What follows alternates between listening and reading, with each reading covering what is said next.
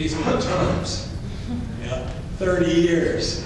I'm gonna pay you a thousand dollars a month. Yeah, and I can rent the thing out for two thousand a month, so I'll take cash flow for a thousand bucks a month. And in thirty years, if it's not worth twice what it is today, that's fine, because I've made a thousand dollars a month for thirty years. Okay, this is a short sale, bank approved. Uh, We'll be assigning our contract on a fixer upper. And they number there. Uh, It's in Holiday.